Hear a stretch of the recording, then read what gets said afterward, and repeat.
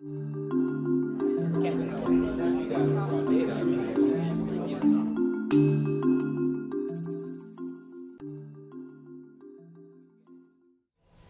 a government perspective, you have to realize that there are very specific challenges and requirements when you're thinking about technology. So government has to serve all the people, right? Everyone. Whereas when you're building a technology company, you often think about just the specific demographic that you're focusing on, right? That you're specifically going to use your application.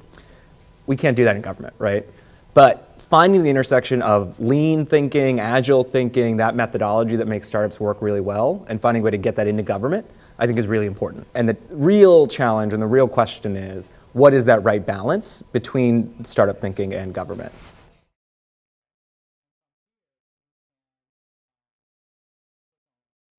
And I would say that California is, is a leader among all the states in trying to apply not only the technologies, but the, the processes and the ways of thinking that come out of the lean, agile software development world and apply those to, to government practices and government services.